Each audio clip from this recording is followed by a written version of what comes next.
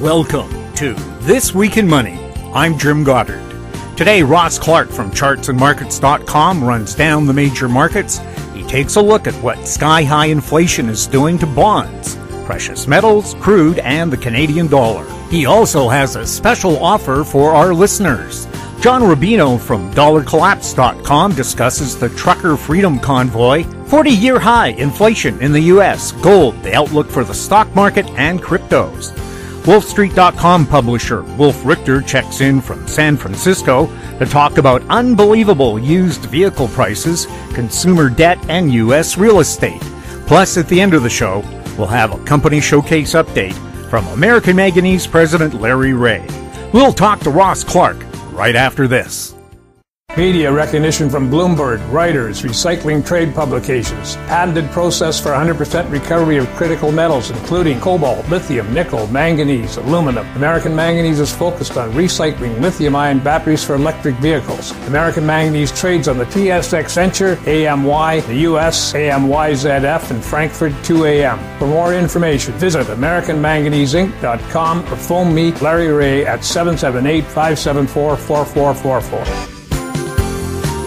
Welcome to This Week in Money, the source for market opinions. Here is Jim Goddard. My guest is Ross Clark from chartsandmarkets.com, where you'll find insightful market commentary and timely technical analysis. You can find him on Twitter at Charts by Ross. Welcome back to the show, Ross. Good to be back with you, Jim. U.S. inflation officially in the 7% range now, the highest in 40 years. What kind of an effect is that having, especially on the bond market? Well, you know, the bond market has already been in a waterfall here. It's just been uh, tanking, and the uh, the news uh, pretty much then kicks in. Um, you know, it, it's it, it should be old news because we've we've seen what's been happening with commodity prices, uh, the agricultural side, of the crude oil market. So the, the bonds have now generated what we see as uh, downside capitulation, and uh, on the Treasury uh, yields, the 10-year yield, that we've been targeting up at uh, the 210 to 215 range and uh, got up to 206 at the tail end of this week. So um, I think that uh, you know the initial part of this bond reaction to the uh, CPI numbers is pretty much baked in.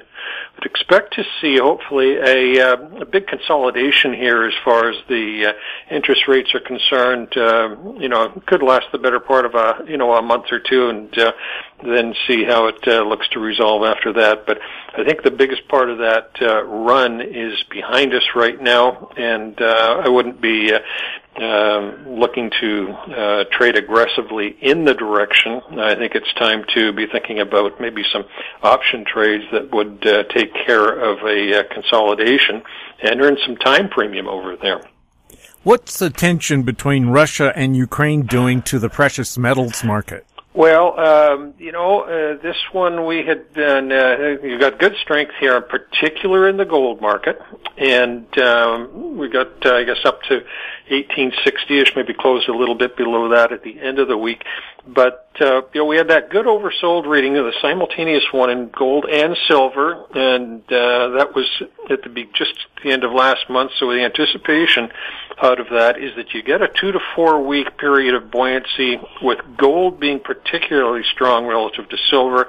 And that's what we're seeing here. This is the best levels that we've seen in gold in quite a while um, not out of the major resistance levels. Might be looking at something around 1880 as a reasonable target in here, but uh, so far uh, just working nicely off the modeling that we've got. And uh, uh, as I say, I don't want to be too aggressive on this one. Uh, in you know thinking that it's the big breakout. Um, this is just uh, had been a good tradable rally, and um, we're going to stick with it for a little longer.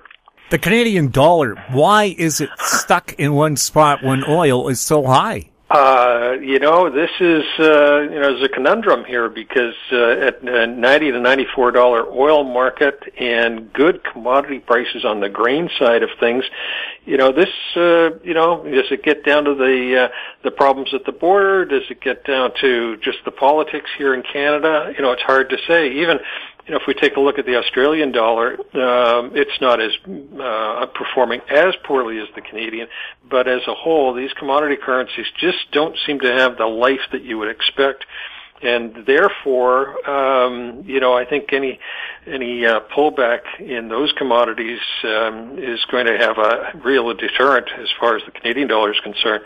Now, as far as oil is going, um, you know, with the um, situation uh, and the tension between Russia and Ukraine, that uh, we'd had a, a small correction, held it held up uh, very nicely the last couple of weeks here. A little um, two to four day corrections, holding well above the moving averages, and our target for this big move has been 103. We've been looking at that for the better part of a year.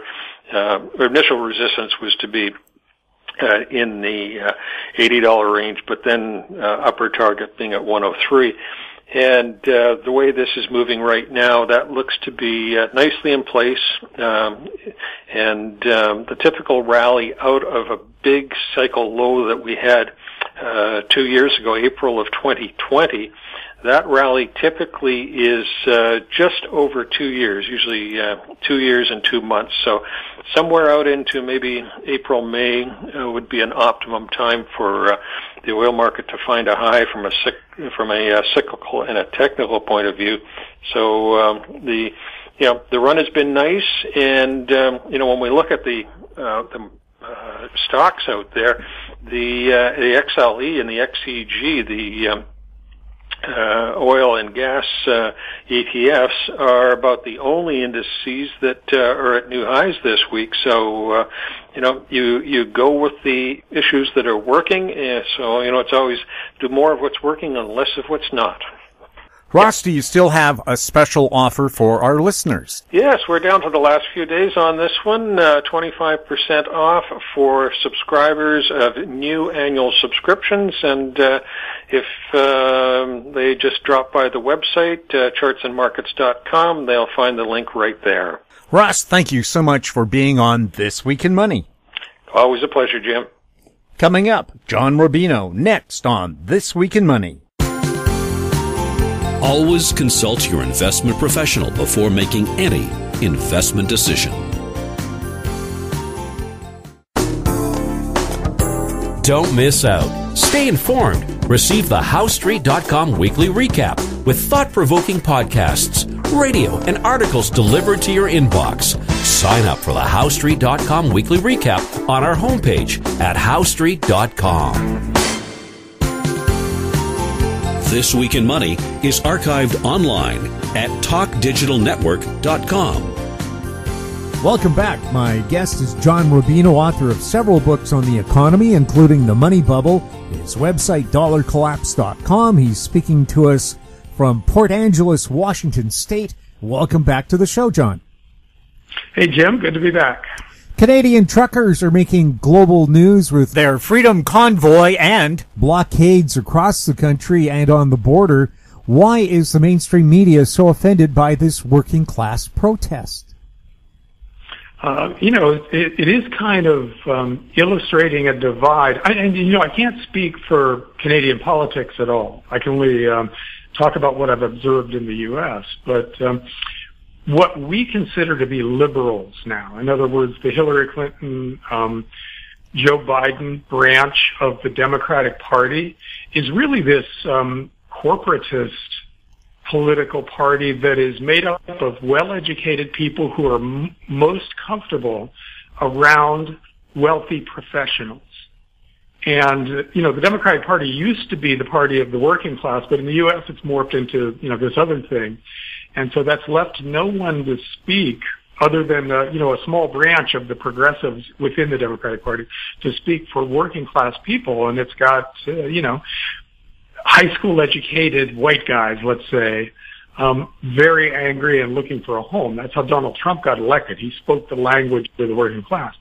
Uh, and so the, um, the, the trucker protest in Canada is sort of the worst nightmare of the corporate Democrats down here because um, the, the you know truckers are basically blue collar guys who work with their hands um, or you know otherwise work within the physical world, and that's completely alien to our, in the U.S., corporate Democrat liberals. And so they're terrified of a movement made up of people like that. So down here, they're appalled by it because it strikes at the heart of their political power.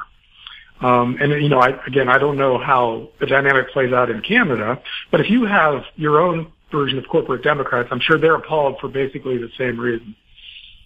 Oh yes, and uh, the federal liberal government has done absolutely nothing to either uh, ease the problem or haul the truckers out. Nothing. They just say, "Oh well, please go home," and I don't know. Just saying please doesn't seem to help anybody anymore, anytime.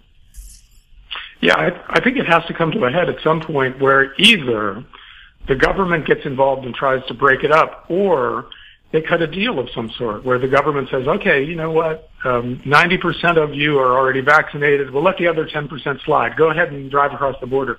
And I think that would solve it. And uh, that, that's the um, the simplest solution is that kind of compromise. You know, but the I, U.S. Has the, the, uh, the, the U.S. has the same regulation though, where uh, international truckers have to be double vaccinated, so the U.S. would also have to change its rules. Canada can't well, do it by seeing, itself. We're seeing a um, incipient trucker convoy movement happen here too, where trucks are starting to head for DC. so, you know, this this thing has legs, and I, I don't, you know, I don't think it's guaranteed to work out one way or another. It's going to be very interesting from here on out. Hmm. The GoFundMe part of the trucker story is interesting. What does it mean for future funding campaigns that contributions can simply be blocked or stolen?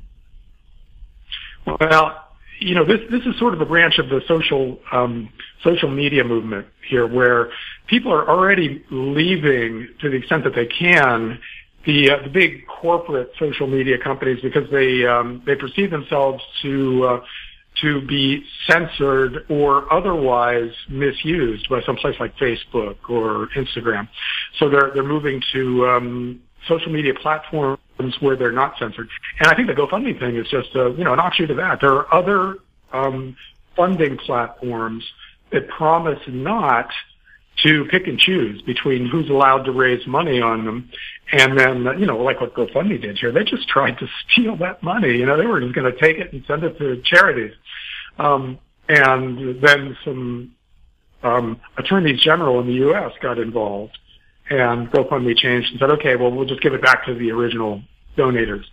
Um, and it, it still left a bad taste in the mouth of a lot of people. So I think there's um, there's going to be an accelerating movement into obviously social media platforms and now funding platforms uh, that don't come in with an agenda pick and choose and um, and and in that way censor or otherwise control the people who are using the platform. So again, you know, very interesting time in in the system when uh, a lot of the power structure got extremely overconfident and uh, started doing the things that overconfident people do who don't feel like they uh, there can be any recourse you know, and it turns out there is a recourse. People can leave, and uh, and that's what's happening. So we're seeing a big power shift, and uh, and it, it'll be interesting to see how far that power shift goes. Because, you know, okay, taking one step back to the, the meta level here in the U.S., we're kind of um, we're kind of doing a uh, you know India after independence thing going where you know the Indians had to decide whether they were going to live in a Muslim country, Pakistan, or a Hindu com- country, India. And they went through this totally chaotic process of, you know, people from one group moving to the other group and battling it out on the way and a million people died. The U.S. has something like that going on right now with people moving from blue states, that is Democrat controlled states, to red states, which are Republican controlled states. And a, an awful lot of people talking about, uh, you know, various kinds of secession where part of Oregon and Washington become part of Greater Idaho, which is a state slash small country in in the mountain states there, and uh, you know that again is is just beginning. So it's got a long way to run, and it's going to be very contentious, I think, before it all sorts out. Yeah, and this trucker thing too. Uh, we now have French truckers flying Canadian flags and handing them out, saying uh, they're mad as hell about the vaccine mandates, but I think it's it's more than that. I think it really is they don't feel governments represent their interests anymore. Well, yeah. I mean, that's how we got Donald Trump down here. Is that um, it was very clear that the establishment wasn't representing a huge part of the population. So when someone came along who, even though you know, let's let's just say it, he was kind of a fraud from the point of view of a uh, an actual policy. Um, um, suite, but uh, he spoke the language of people who were being disenfranchised by the power structure. Uh, in in Canada, you probably have sort of the same dynamic, maybe with different groups of people, but uh, there are people who feel left out, and they are because of that they're volatile. You know, they're they're uh, they're ready to join causes that seem to be anti-establishment, and uh, um, you know, I what do you think? Um, will, will Trudeau stay in power, or is this a death knell for him and his government? Well, uh, because Canada has four basic parties, uh, the liberals who are very, who are left, the conservatives who are conservative, the NDP, the New Democratic Party, which supports the minority liberal government. Uh, don't forget about two thirds of Canadians did not vote liberal. So he doesn't have the majority support. It's not like in the U.S. where you have two choices, either conservative or liberal. Uh, and uh, right, and that, that, makes him fragile, right? Is it? Um, is well, he sure. He's right yeah, he's he's supported by the new Democratic Party, so uh, he'll win the votes. And the Bloc Québécois, who's uh, the uh, fourth party, well, all they want is Quebec independence, and uh, until they get that, they just try to take as much money out of Canada as they can to stay in the country. so it's an interesting process there. So as long as Trudeau's willing to give Quebec uh, more money than they actually need, uh, they'll stay in Confederation. It's an act of bribery to keep Quebec in. So he has to kind of toe the line there as well. So you see, Canada's had a secessionist movement uh, since the 60s where Quebec had uh, the FLQ, a terrorist group, uh, killing people and kidnapping folks and so on, trying to get independence. We've had referenda on it where Quebec narrowly voted to stay in Canada.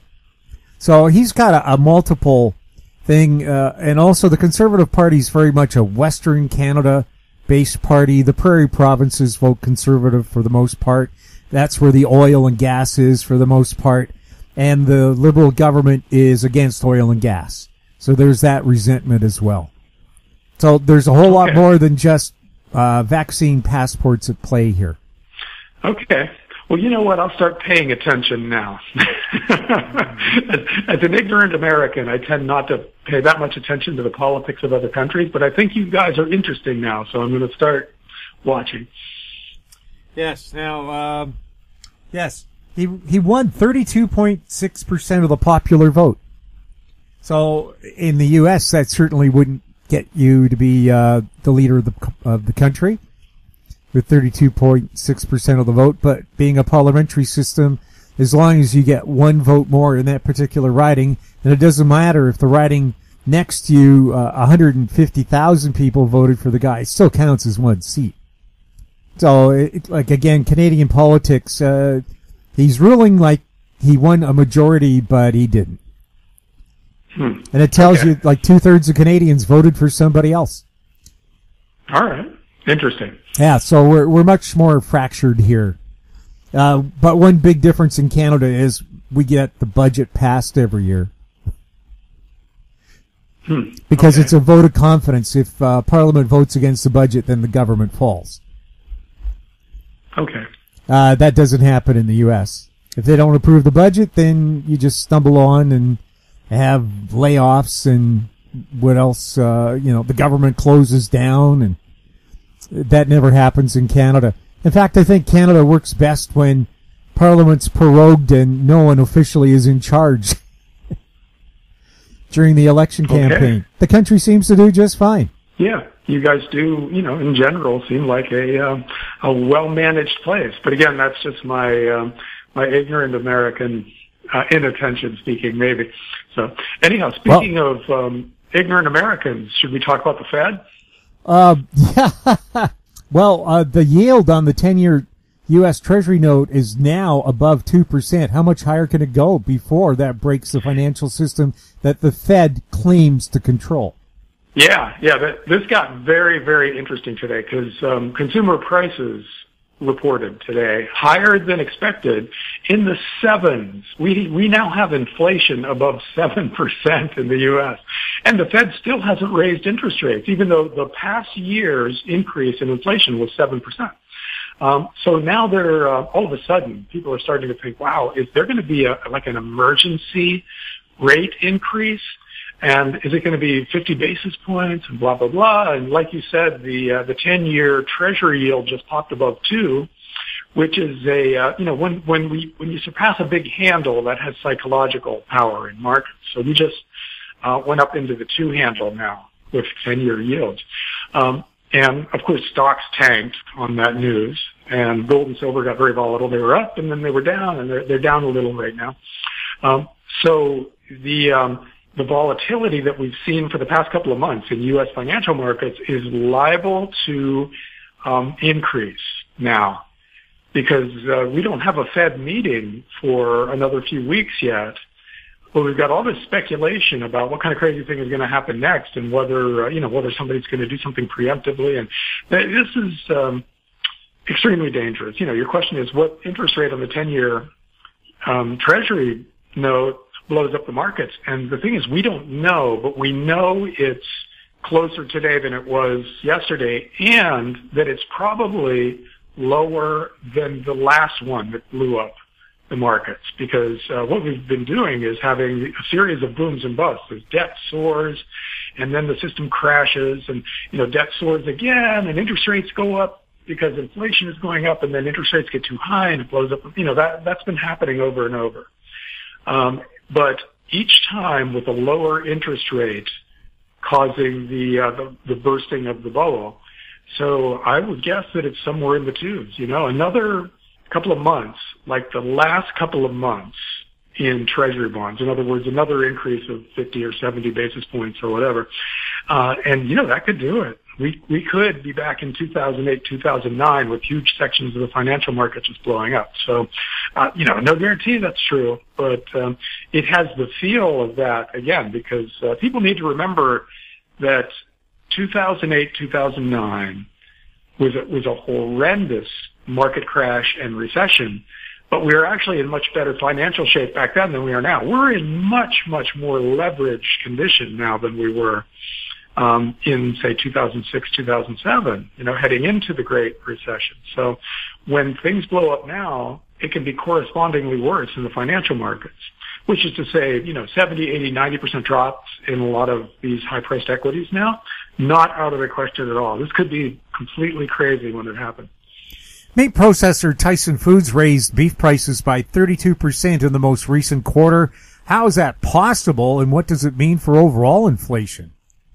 Well, it kind of means overall inflation is higher than the government is telling us, right? Because when you have big components of the cost of living rising at double digit rates, you know, mid double digit rates, not just 12%, but 30 something percent for, for beef and 50% for used cars. Um, you know, either you have to have a bunch of things in the economy going down in price, um, of which I'm not aware of any, and uh, to offset these gigantic price spikes, or else the overall rate, you know, when you take the average of everything, uh, it's much higher than they're telling us. And I suspect that's the case. You know, I think if we, uh, if we included housing, which is roaring in its own right, and rents, you know, um, in five major cities in the U.S. in 2021, rents went up by more than 20%. So picture it, you know, your gasoline has doubled, your rent is up by 20%. Your groceries are up by 10 or 15% if you're buying any kind of meat or anything. And how is your overall cost of living only up by 7%? It doesn't make mathematical sense. So I think that uh, part of what's roiling the markets right now is that while 7% is bad, a lot of people suspect that the real number is much, much higher.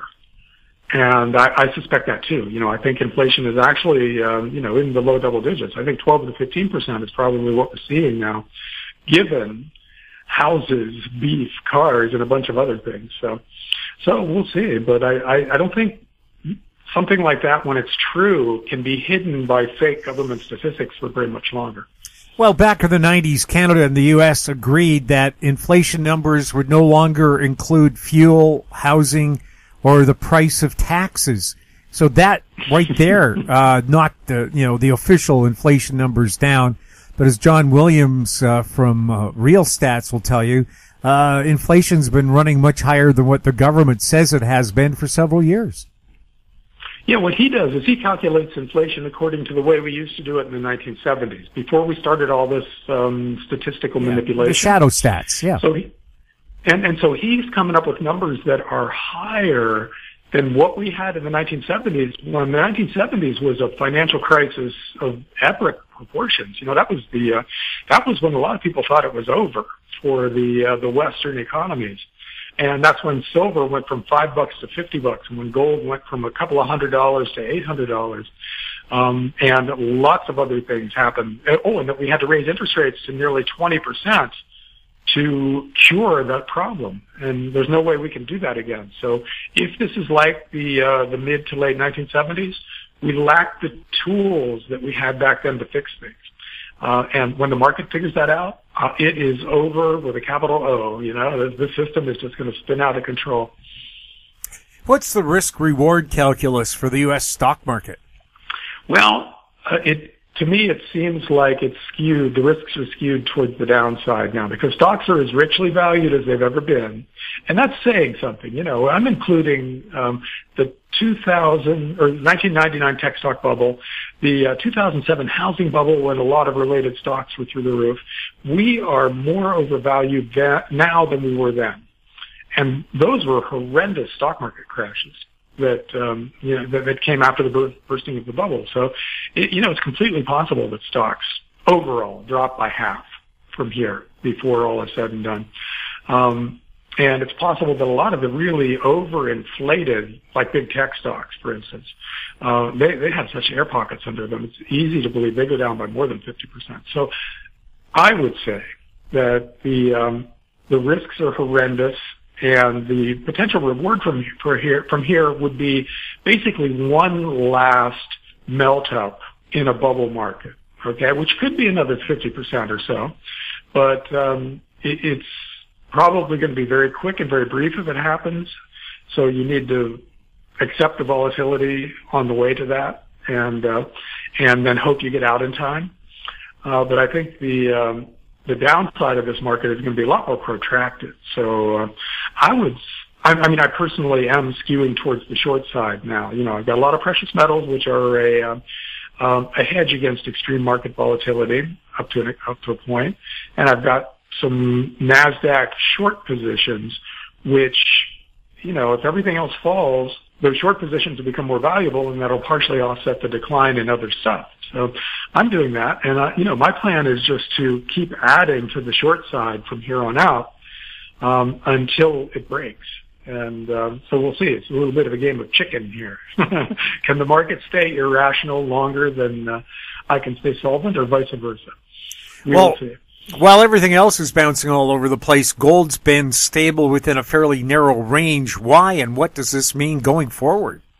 Well, with gold, you got two different um, mindsets out there. One is that okay, you know, we're we're heading into extreme volatility. Gold is is you know is is good to own during extreme volatility, so let's load up on gold. The other is oh, and there's inflation, of course. You know, you buy gold and silver uh, as an inflation hedge, and inflation is rising. Therefore, precious metals are, are interesting. Uh, the other side of that argument is that, uh, you know, if stocks tank, they'll pull gold and silver down with them. So sell your gold. So you got these two forces right now out there. Um, so you've got basically buy the dip and sell the rip in gold. And they're kind of balancing each other out. So gold has been relatively stable compared to almost anything else out there. You know, look at gold versus Bitcoin, no comparison. Gold versus tech stocks, uh, gold versus anything. You know, it's it's sitting there while these other things are making these huge dramatic moves. Uh, and there's a time when just sitting there is a really good characteristic for some part of your portfolio. And I think, uh, you know, gold is kind of in, in that sweet spot now psychologically where people are getting more and more worried about volatility. and therefore more and more interested in return of capital rather than return on capital. Uh, that doesn't mean gold and silver won't get whacked if the uh, the stock market flash crashes, but it does mean uh, that they'll recover pretty quickly when the Fed capitulates and starts flooding the system with with um, you know new credit. The U.S. estimates drug overdoses now cost a trillion dollars a year. Is the U.S. becoming a third world country? Yeah, I, I run a series on dollarcollapse.com called Welcome to the Third World, which chronicles these weird things that are happening in the United States that um, that Americans think should not happen because our birthright is to have a system that works. And in, in a lot of cases, the system isn't working anymore. And one of the big ones now is these drug overdoses. I mean, especially opioid overdoses. These are, are deaths of despair. In other words, you, you probably aren't going to get addicted to opioids unless you have either a really serious injury that, uh, uh, that causes chronic pain or your life just sucks and you just want to deaden the pain with whatever is nearby. And, um, I think that's the case for a lot of people. You know, life is hard. Jobs are crappy. Uh, they don't pay enough money to to do anything that's fun after you get home from your crappy job, um, and that's just your life to the horizon. You know, you, you're going to do that until you drop dead. Uh, and an awful lot of people are looking at that and thinking, well, I want to just escape from this somehow. and, and so you're, you're seeing a lot of, um, opioid abuse and because opioids are extremely hard to um, to gauge when you're taking them. You know, if you're taking what, what somebody says is fentanyl, you don't know how much you're getting or what you're really getting. And, you know, so, so, so it's very easy to overdose on that stuff. And so a lot of these deaths are accidental, but the impetus for taking the drug in the first place is that life is just not what it used to be in the U.S. You know, we need to get our act together. There's no reason that this won't accelerate from here. Well, here in British Columbia, over 2,200 people died from drug overdoses last year. And while the government runs flashy ads on TV about it, uh, I don't see what's being done to solve it. Uh, I think my mother had the right solution. Just make all the drugs legal, make sure they're pure, sell them from the local liquor store and tax the hell out of it. And squeeze uh, organized crime out of the game. Yeah, that that would um, you know other countries have done that. Portugal, for instance, hmm. is um, a place where drugs are basically legal, and their drug problem is minuscule compared to a lot of other countries. We could do that. Um, it would uh, you know there would be short term disruption, but in the longer run, like you said, tax it. a lot of state and local governments are feasting on marijuana tax revenues right now. So there's no reason why we couldn't extend that to a lot of other things and then control the quality and, um, and, and in that way, but, but remember, people would still take opioids if their lives suck otherwise. So you can't just legalize opioids and then expect people to stop dying as, as long as jobs don't pay much of anything and there's no real hope for the future. There's no upward mobility. You know, we've shipped all the good factory jobs to China, so um, a high school educated 40 year old man has basically nothing he can do that gives him the kind of status that, that a guy really needs to feel like somebody in the world. So yeah, we, we need to, um, change on a fundamental level in the U.S. for any of this stuff to get fixed long term. And I think the, the trucker, uh, convoys are, are part of that as well. People are just so frustrated. The government doesn't seem to be doing anything about the day to day problems they face. Yes. Yeah. Uh, see, big protests like this don't just happen for no reason, especially not in the winter. What is it like negative minus 17 degrees Fahrenheit up there now? Um, I've, I've seen that outside uh, on the news and, and, and, and yet people are lining the streets for these truckers. The truckers are out, you know, around their trucks standing there protesting uh, in incredibly cold weather. You don't do that unless you are deeply frustrated. It's not just one thing. As you said, 90% of truckers are uh, are vaccinated, uh, so it doesn't directly affect them, and yet um, their frustration is such that they're going to turn out because they want to change things, and this is their chance to change things. So um, I, you know, I think if we if we see the trucker protest in Canada and again, I'm, I'm committing the, uh, uh, the, the sin of pretending I know anything about what's going on in Canadian politics, but I suspect that if they did away with the um, the vaccine mandate for truckers immediately, that wouldn't really solve the problem because there's a lot of other underlying frustrations that would definitely have to be dealt with now that these guys have figured out that they can ask for change and get it. So I, I think that's going to be the next part of the story is the, the vaccine thing resolves itself and yet there's still turmoil. So a lot of things have to be dealt with. Now, uh, what's going to happen with cryptocurrencies? Uh, it seems to me that uh, Bitcoin, for example, follows the S&P. When it's up, so's Bitcoin. When the S&P falls, so does Bitcoin. Uh, is that the way cryptos are going to go, or are there so many you can't predict anything? Well, okay, using Bitcoin as a proxy for cryptos.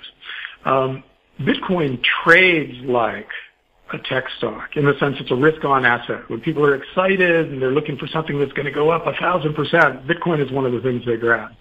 Uh, now, because cryptos are, are an emerging asset class, we don't know what they're going to end up being. You know how they're how they're going to participate and or dominate the global financial system when the time comes uh, that they settle into their long-term role.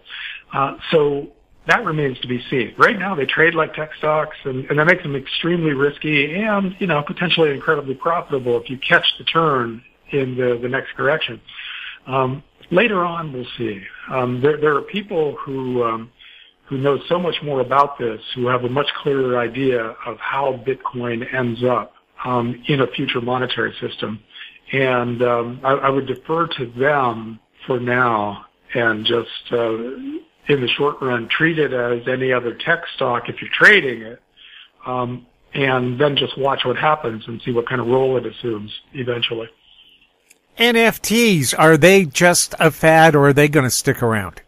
Boy, they have to be. You know, I, I want to say, oh my God, they're the you know the, the, this craziest part of the dot com bubble in the 1990s. That's what NFTs are, uh, and I, I think that. But it, it could just be that um, I don't understand the concept well enough yet. You know, it could be that I'm a, a guy with a, a horse-drawn carriage looking at the very first car in 1905 and saying, "Oh my God, that'll never become." A, you know, it could be that. Uh, but I, I gotta say, I think that just conceptually, NFTs make zero sense, and they're attracting money because there's too much money. You know, zero, uh, NFTs are a um, an artifact of 10 trillion extra dollars sloshing around in the U.S. economy and 25 or 30 trillion sloshing around in the global economy. Um, and when monetary policy tightens, which is happening right now, and a lot of those dollars are pulled out and they disappear because really all they are is just monopoly money. They're just make believe, conceptually. Um, things that um, that really don't exist in the real world. When they disappear, then a lot of the also unreal things that depend on all that extra cash for their value will evaporate. I think a lot of NFTs are in that boat, but we will see. If you don't take technology advice from a finance guy. You know, I'm expressing an opinion, but not with a huge amount of knowledge behind it. Well, I look at NFTs sort of like the way sports cards were back in the 90s where the prices skyrocketed and then all the sports card shops went out of business. And now sports cards are hot again, so are painted sneakers. But I don't know if those are going to be uh, stores of value over a long term. Yeah, because think think about this. Think about the dynamic. When um, when you've got a lot of money, you buy lots of different things. Some of them are frivolous, some of them are serious, but you, you can do it. You can afford them all. Then when uh, you lose your job or your stocks tank or any number of other things happen to make you feel a lot less rich, you start at the periphery and sell your frivolous stuff, right? So if you've got a baseball card collection, that's the first thing that goes. If you've got an RV, even though you already live in a 4,000 square foot house, sell the RV. So that those things tend to collapse in value, in price um, when money gets tight. So there's no reason to think that dynamic won't happen again, although RVs are a special case. I don't know if we have time to explain why they, they aren't in that category anymore, but they always were in the past. But a lot of the other frivolous stuff is just going to vaporize. So uh, I, I think that'll happen. Uh, you know, the yesterday's and today's um, bubble assets and collectibles and things will go the way of stamps.com and pets.com and lots of other things like that. John, thank you so much for being on This Week in Money. Sure thing, Jim. Thanks.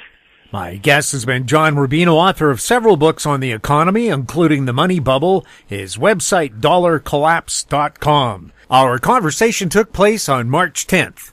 Coming up, Wolf Richter, next on This Week in Money.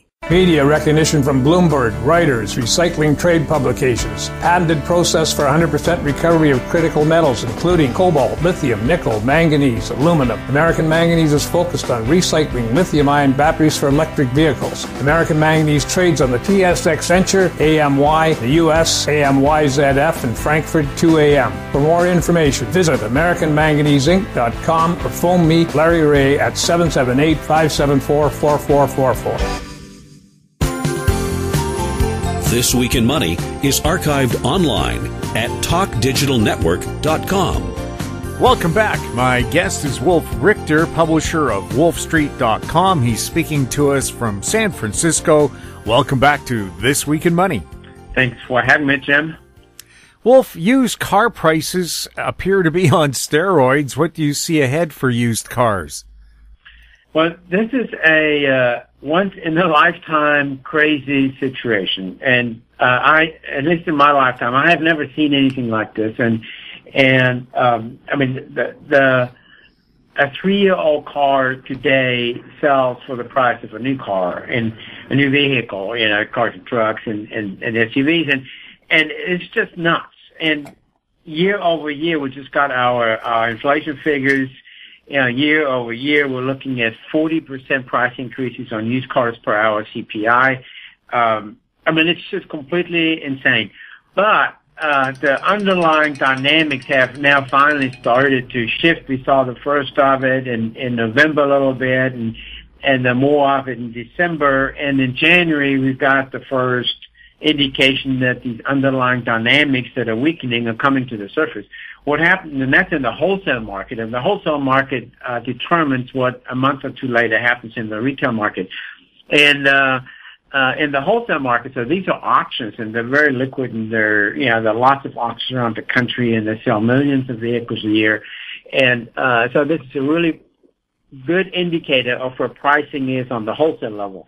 And uh, so what we saw in November was that there was just the pricing was still going up sharply, but there were few wholesales uh, completed. And then in December, the same thing happened, and the pricing slowed down a little bit. And then in January, we actually had the first month in in in many months where wholesale prices didn't actually go up at all, and that's on a seasonal adjusted basis. You know, not seasonally seasonally adjusted, they dropped and uh, there is a decline in retail sales now because of those high prices. People have uh, have finally pulled back a little bit, and uh, we see inventories building up. So now we have more than the average uh, supply of used vehicles on dealer lots, and there's more than average supply in the wholesale system. So it looks like that over the next few months, we will see the retail prices of used vehicles level off. I don't, you know, I don't expect them to plunge. I mean, like these lumber prices that spike and plunge, that doesn't really happen with expensive retail products such as vehicles. But uh, what we will see uh, positively, you know, we've been wrong before on this, is a leveling off of the price increases and then eventually some price declines and uh, I don't think the prices will go back to where they were, but uh, I do see that uh, there are price declines uh, ahead of us in the used vehicle market. And what will happen is the prices will come down some, and then volume will pick up again at these lower prices, and so they'll they'll they'll stop dropping. You know, right now the economy is really strong. We don't have a situation where people are getting laid off and don't have any money and can't buy used vehicles.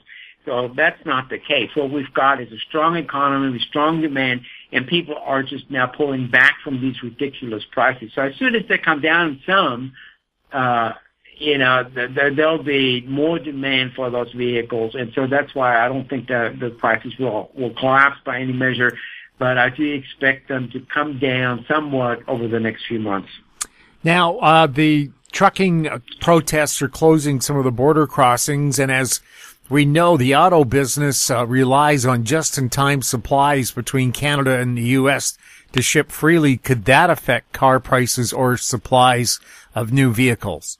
Well, we're right now that the issue is that a few truckers are blocking the international bridges, and uh, yeah, that's that has already caused some supply issues.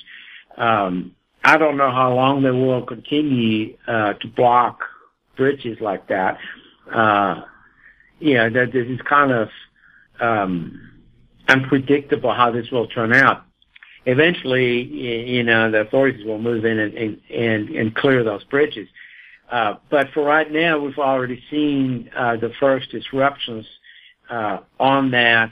Uh, I don't expect this to be a long-term issue. The chip shortage is a long-term issue. That yeah, this this situation with the bridges getting blocked is uh, is I think uh, is a matter of days, not uh, years, as with the semiconductors. Mm-hmm. Are automakers going to be able to get through the chip shortage this year? And uh, if they do, will they be able to build enough cars to meet demand? Well, the chip shortage uh, turns out to be one of the most intractable things out there. And and uh, a year ago, you know, we already had it, and there was already uh, shutting down plants because of it. And um, and they said, well, it'd be it'll be over with uh, later in that that year, so that's 2021. You know, and we should be done with it in the fall of 2001 and uh, 2021, and in the in, towards the end of 2021. And then we got there, and it, it's going to be a few months more, maybe in 2022, and and uh, now, you know, it, it might drag into 2023. The thing is that parts of it are getting better. So there, there is some improvement, but it continues to dog the industry. And, and they're really desperate to buy these chips. So the whole purchasing, uh, uh, strategies have changed and, and buyers, a lot of them are component makers. They're not actually the automakers, but they're component makers that make components for the automakers. Uh, you know, they're, they're trying to lock in supply by, by, uh, uh, you know, offering all kinds of special, uh, uh, terms and, and, or agreeing to special terms that the chip manufacturers are requiring now. And, and so this whole thing has changed. Everybody's just struggling to get some chips and the supply is coming up. I mean, chip, chips are being manufactured in record numbers are being sold in record numbers, but there is a huge amount of demand, uh, not just from automakers, but from uh, consumer electronics, uh, you know, the, the, the smartphones, the laptops, the the equipment you need around the house for your for your office, and all and, and companies. You know, everybody has upgraded their their uh, point of sale technologies, and we just went skiing, and and it used to be manual before. Now everything is electronic. I mean, you stick your credit card in to to buy a a, a pass for the day and you don't even have to interact with anybody anymore. And, and, and this is all expensive equipment that requires a lot of chips and, and companies have gone on a buying binge to, to update these technologies and that's still going on. So there's a huge amount of demand for these chips and the supply chains just, just aren't ready for that. And automakers got, uh, pushed further down in the queue because you know they're they're they're making uh, you know fewer cars than than uh, cell phone makers are making cell phones. And uh, so it, it, they're not the top priority for the chip manufacturers.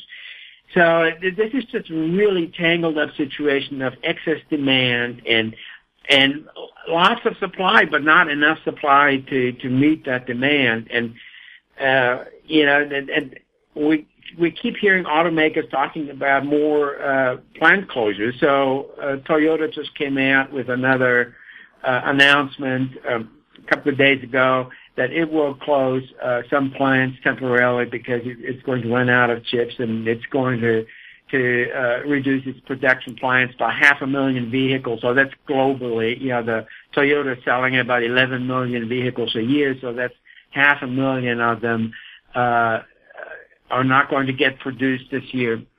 And you know, Ford still has issues and GM still has issues and Tesla has griped about it and and so this is this is dragging on and and nobody really knows uh how this when this will be finally resolved. Now the, the investments they're making in, in new chip plants and there's hundreds of billions of dollars are now getting invested into semiconductor plants. You know, that doesn't come online this year. This is for later. You know, this is 2023 and further down the road.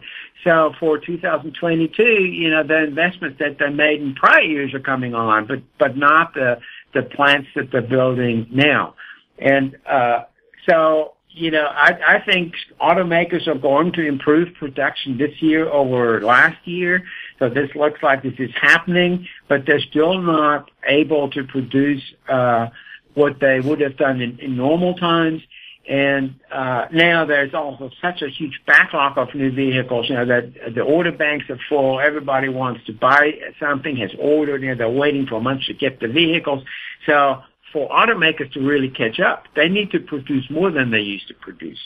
And uh, that's not in the cards at all in 2022. Yeah, that may come in 2023 or later. In 2022, they're still trying to catch up, and they won't make it. You know, they they'll still lag behind, but but the situation will improve, uh, but not enough uh, to catch up.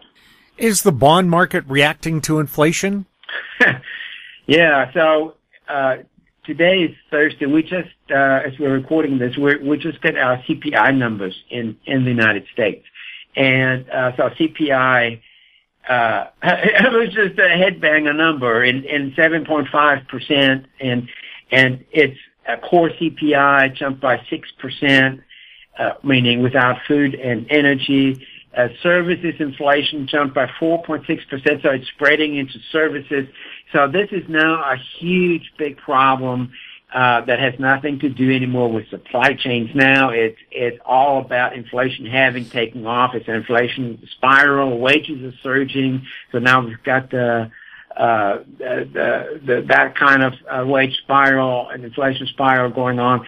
Um, we still got all kinds of stimulus going on. We've got the Fed still on the gas uh, with uh, repressing interest rates to near zero and, and still buying assets. And, um, you know, so th- that's throwing fuel on this fire and the bond market, uh, today reacted strongly to it. The, uh, 10 year yield today, which, you know, it, it should have been much higher, but it, it, it, uh, spiked through 2%. So, I mean, it was, uh, uh, it, it, it more than doubled in, in a fairly short period of time you know, the the the two-year yield uh, jumped further.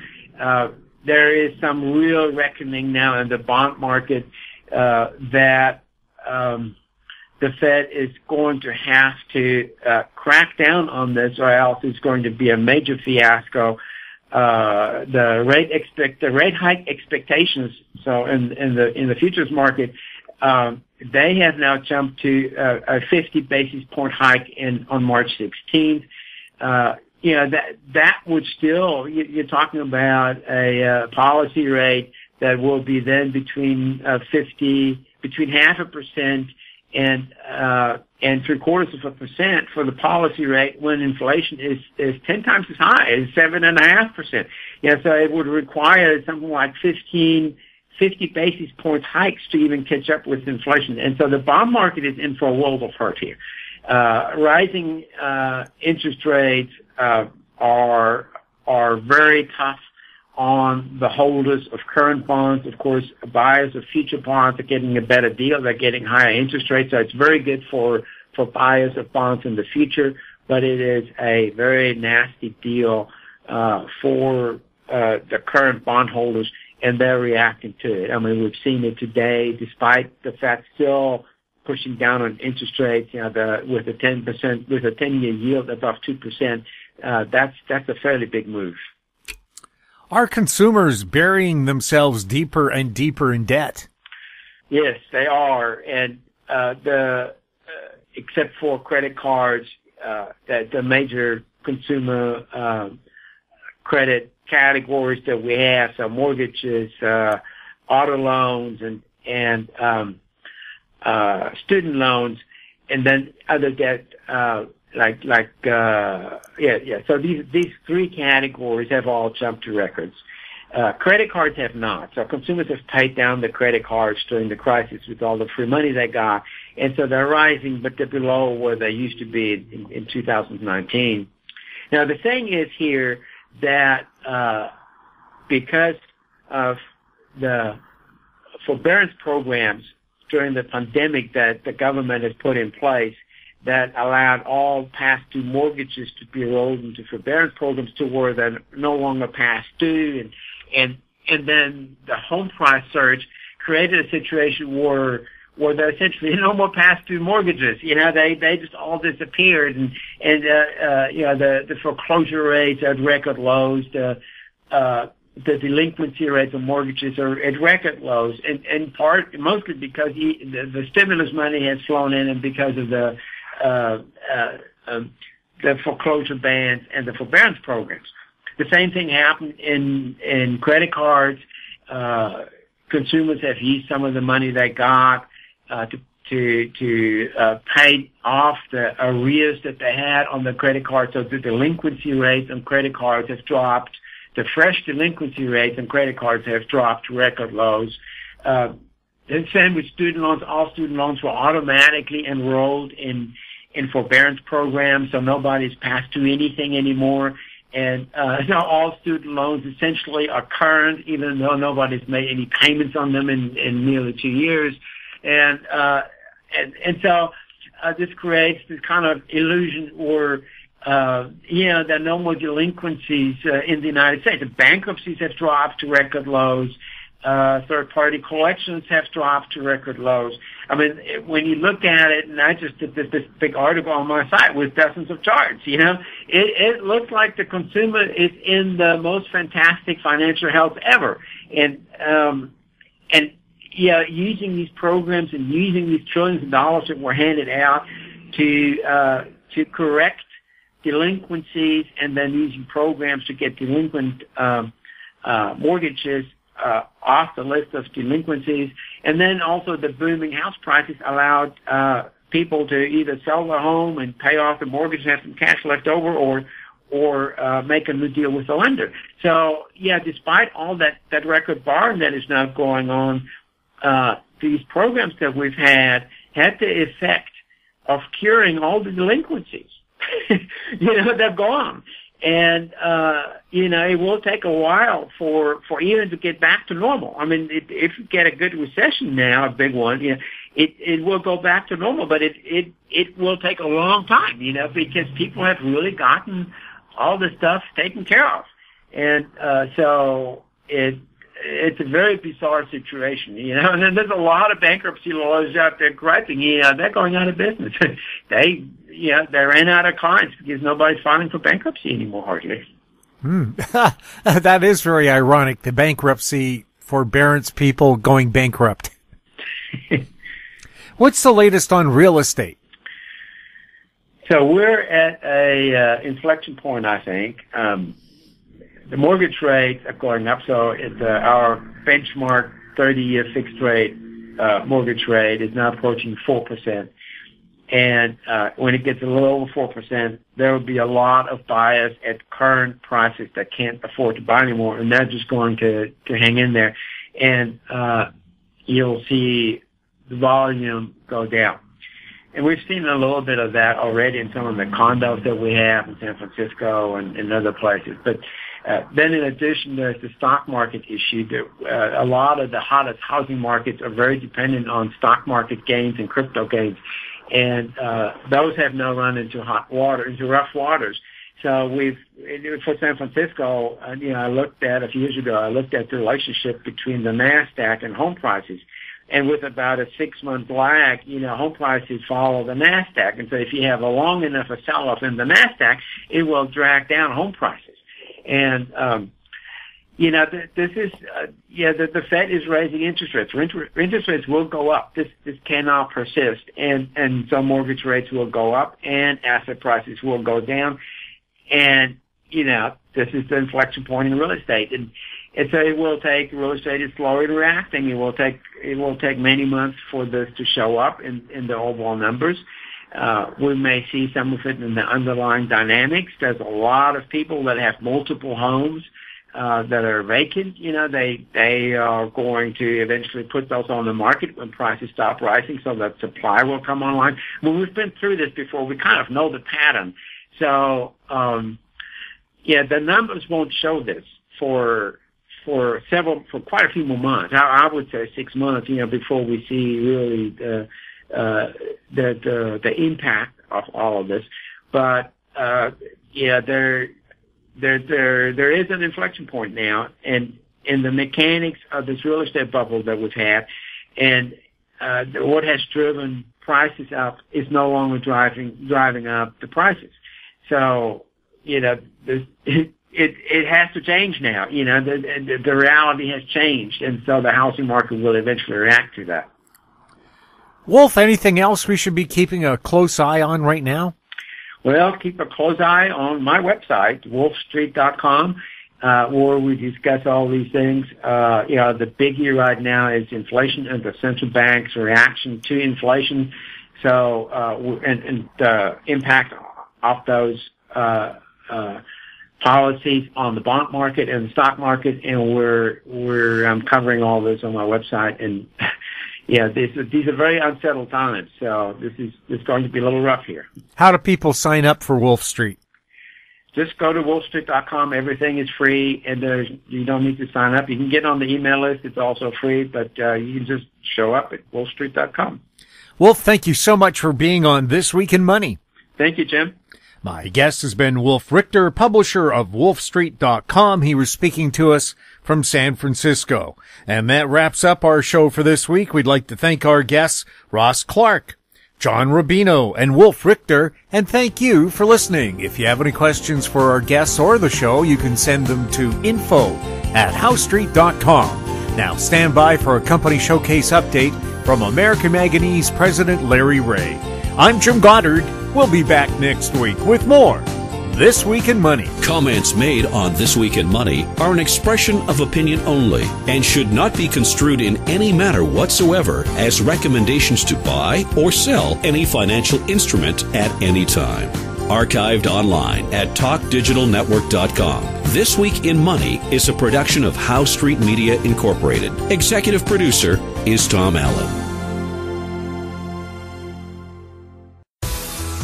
Welcome to Company Showcase, an advertising feature on HoweStreet.com. I'm Jim Goddard. I'm speaking with Larry Reaugh, CEO and President of American Manganese. Welcome back to the show, Larry. Well, thank you, Jim. Larry, I know you have a pilot plant in the works. Uh, what's happening with it? Well, it's uh, more than a pilot plant. It's a it's a demonstration plant. Uh, there's a higher throughput and a continuous operation. It's uh, the work is going along fine on that. I haven't uh, updated anybody yet because I'd like to send some pictures once it starts to uh, come together. Besides uh, being spaced out on the floor, because it looks just looked like a bunch of tanks and uh, pumps and uh, filters and all kinds of different things. The uh, that uh, is hard to assemble. You know, it's hard to uh, get the message across. We're uh, we're still shooting for uh, having it uh, all put together to be tested uh, by in uh, in February here, and uh, that'll be the water test to start with to make sure there's no leaks, and then we'll start putting material through.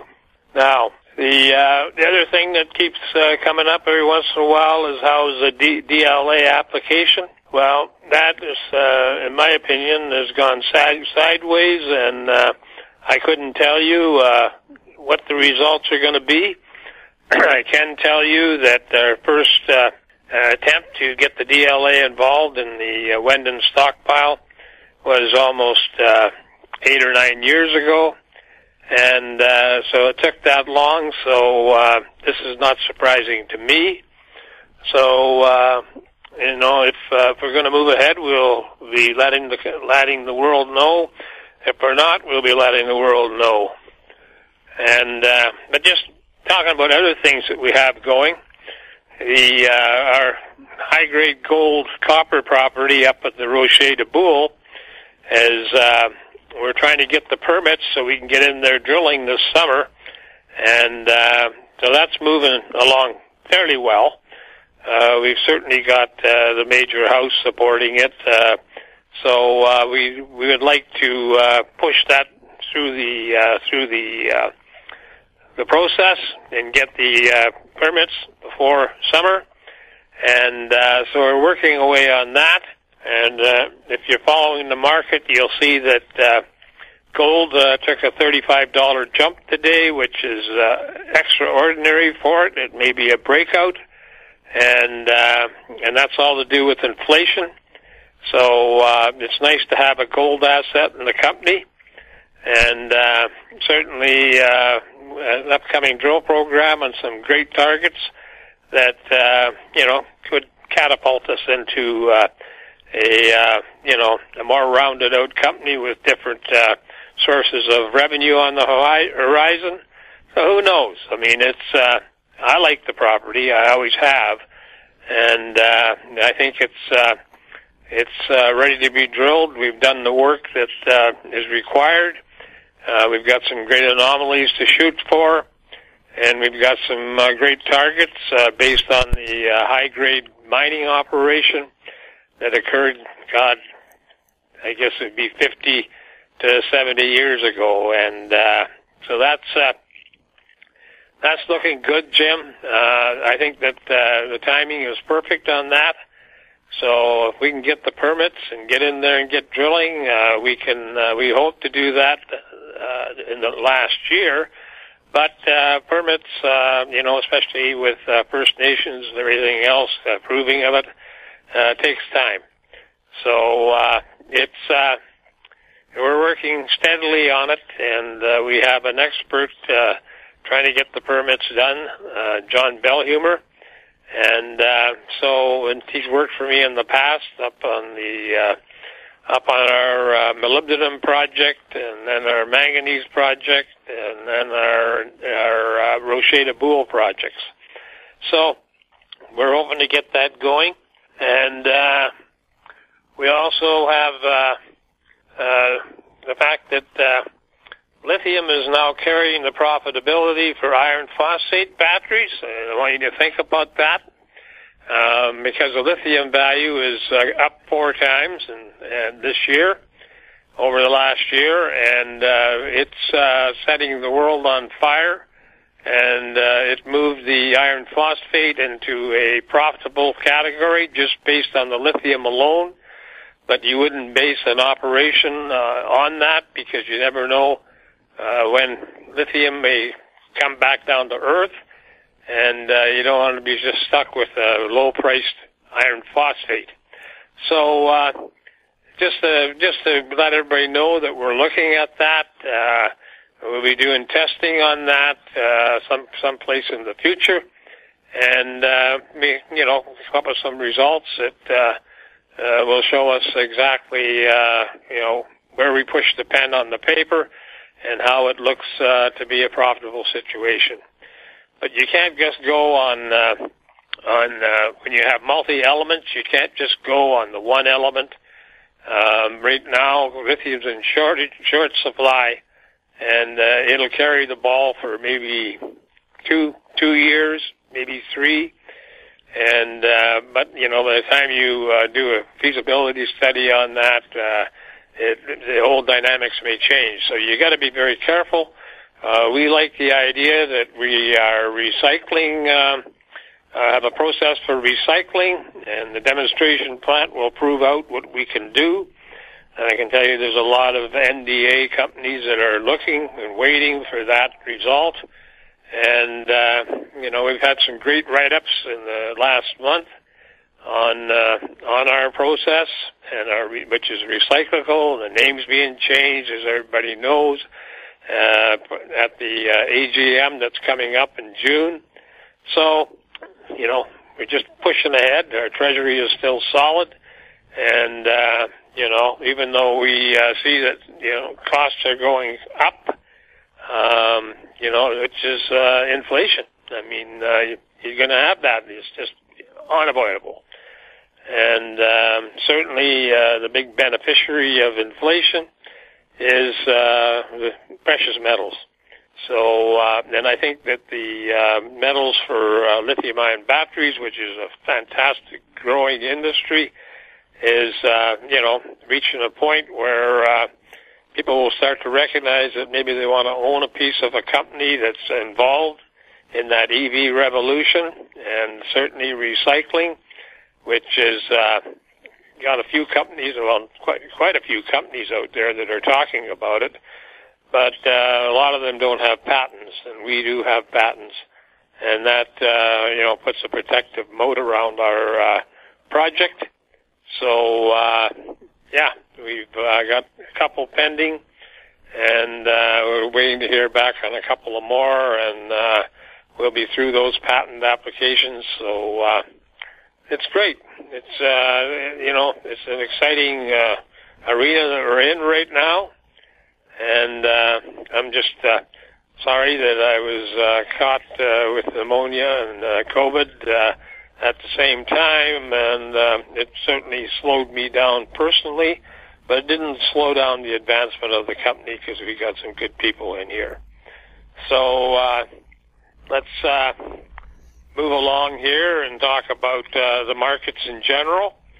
As you see, the markets can go up uh, fantastically and they can go down fantastically. Everybody's talking about a big crash, but they've been talking about that for 10 years. And uh, I can see corrections, but I don't see a big crash. I think that certain elements of the market will carry it along and uh, I think we're involved in that uh, in that area. So uh, it's uh, it's a good hedge. It's a good way to, uh, as you can see, the stock is holding fairly steady in the 80s. And uh, if we put a press release out, we're guaranteed to go down. But uh, you know, I won't even. Well, say it. That's the predators uh, operating that day. Or if the market goes up, uh, the general overall market, uh, they'll try to take us down. And, um, you know, which is, uh, I think it's so obvious out there that even the, uh, newest shareholders can see that uh, somebody's doing some manipulation out there. So, uh, and it's, uh, you know, let's uh, look at the run-ups in the stocks.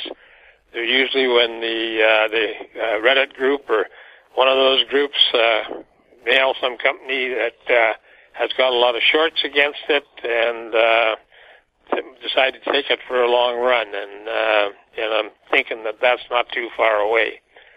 So uh, anyway, uh, Jim, uh, I went through this a lot faster than I thought I would, but uh, you know you got to like the fact that now. Uh, Lithium's carrying the weight for uh, iron phosphate lithium ion batteries, and that uh, certainly uh, you know, put some new dynamic dynamics on it as it's becoming popular with some of the uh, battery manufacturers, and uh, you know, I think we got our foot in that uh, piece of pie too. So, uh, yeah, it's uh, it's been a uh, up and down week, and uh, certainly. Uh, um, we're hoping to have, uh, I think I said this in the last podcast, uh, having something out on our demonstration plant people like to see us putting out press releases, uh, and uh, certainly the demonstration plant will uh, generate some press releases. So uh, that's uh, that's about it for now, Jim. I wish uh, you yourself a very uh, great weekend, and I wish our investors a great weekend. Larry, if someone was new to American Manganese, how would you describe the company? It's a critical metals company that first got involved in technology with manganese back in 2008 because the U.S. has a lot of, or certainly in the Artillery Peak area, they have billions and billions of pounds of uh, manganese that are to be exploited, but they're t- 2 to 3 percent. And we developed a, a technology that allowed us to uh, to actually take that 2 to 3 percent and turn it into a uh, electrolytic manganese metal or dioxide for the batteries that will uh, uh, move it forward. And uh, you know that's uh, I think the U.S. really needs this, uh, so I'm hoping they get behind us and uh, keep pushing along, and uh, because they're going to need it. You know, you can't make steel without it, and you can't make steel. The world stops.